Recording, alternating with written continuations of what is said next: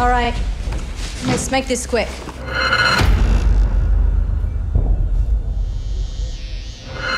Sandra, are you there?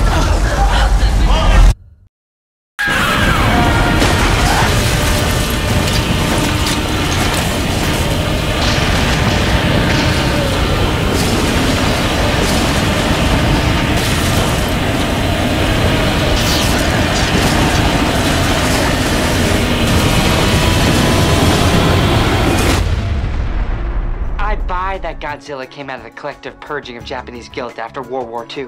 But can you explain to me why the costume had to look so fake?